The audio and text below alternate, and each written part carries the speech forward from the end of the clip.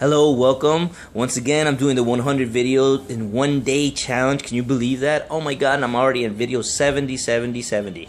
I think, yeah, maybe video 7. I'm actually in video 77.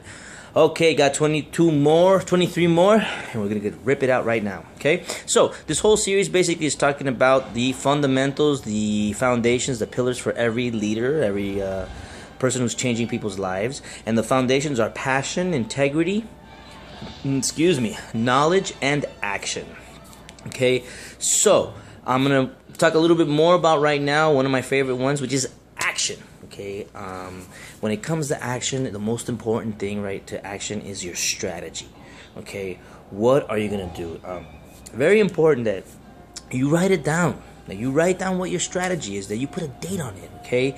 That you make sure you document what's going on so that when you do it again, you don't make the same mistake or you get the same results, right? So strategy is very important because in this game or in yeah, in this field what we're going to eventually be doing is just optimizing our strategies just a little bit, changing a word here, changing a picture there, putting a hashtag here, putting a hashtag there, right?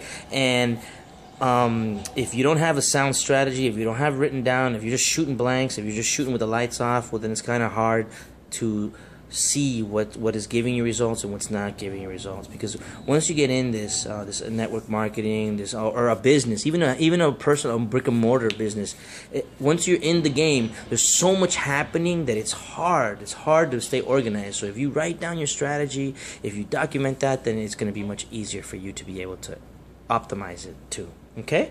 All right. Hope you enjoyed that little tidbit, and I'll see you soon.